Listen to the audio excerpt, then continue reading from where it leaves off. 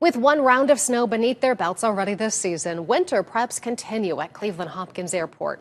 Today, the snow removal team went through their practice exercises to get ready for the next snowfall to keep everything running.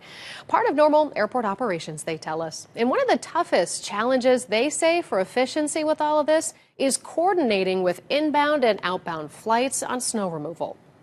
You know, airplanes are always moving. Uh, it's difficult for them to stop and wait. They have to go into holding patterns. They, um, they're really dependent on this operation telling them that it's okay to land. And so that's what, you know, that's our focus. Understanding, understanding the entire operation, zooming out and understanding the effect and the impact that that has on the whole national airspace system.